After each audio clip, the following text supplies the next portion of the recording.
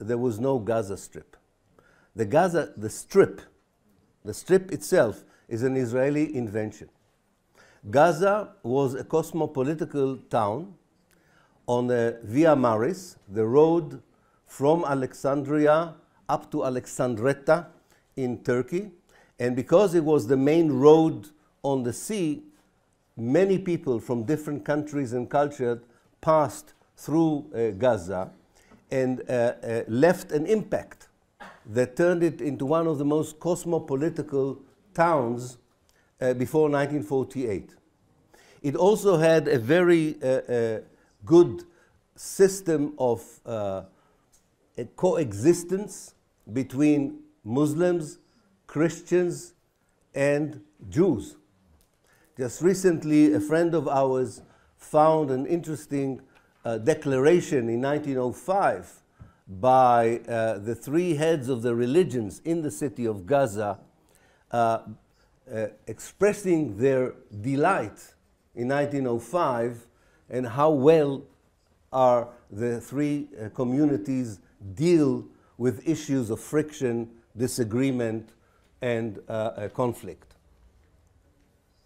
Israel created the Gaza Strip because, unlike other places into which it could push the many Palestinians it expelled during the Nakba, during the 1948 catastrophe, unlike other countries such as Lebanon, Syria, and Jordan, that were willing to receive the hundreds of thousands of Palestinians that Israel expelled, Egypt closed its border. Egypt refused to accept even one Palestinian. And because of that, the leader of Israel, the great architect of the ethnic cleansing of 1948, David Ben Gurion, who ashamedly has a, a boulevard named after him in Paris, is a war criminal. And he decided that Israel is willing to give 2% of historical Palestine in order to turn it into the biggest refugee camp in the world.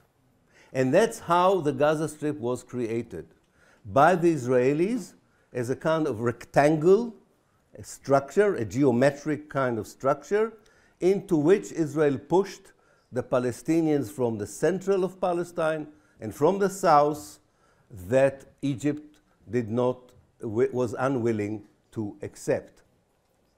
The last group of Palestinians who were pushed into the Gaza Strip were those living in 11 villages on whose ruins, on the ruins of these villages, Israel built the settlements that were attacked on the 7th of October by the Hamas.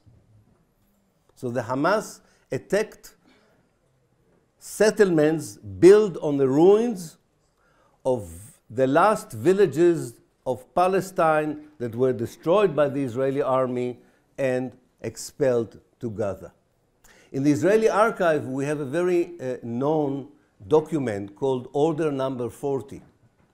Order Number 40 is from the 25th of November 1948, and it was sent by the Israeli Central Command to the commander in the area of Gaza and it has the name of the 11 villages. And the order says, and I quote literally what the order says occupy the village, expel all the people to Gaza, burn the houses, and demolish the stone houses.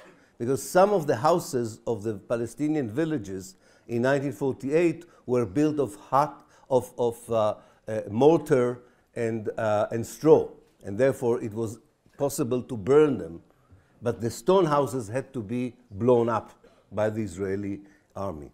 So, one historical context we have here is a generation of grand, grandfathers and grandmothers, fathers and mothers, grandchildren that live either directly or indirectly the Nakba of 1948 in a very vivid way on a daily basis, not only because they are thinking about Jaffa or they are thinking about Beersheba or any other place from which they were expelled, but also by watching the Israeli settlements on the other side of the fence from which most of their uh, parents and grandparents came from.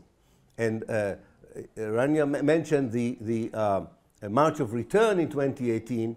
This was exactly one of the uh, uh, objective of the March of Return to remind the world that the settlement on the other side of the fence, the ones who would be attacked on the 7th of October, were Palestinian villages destroyed through the ethnic cleansing of 1948.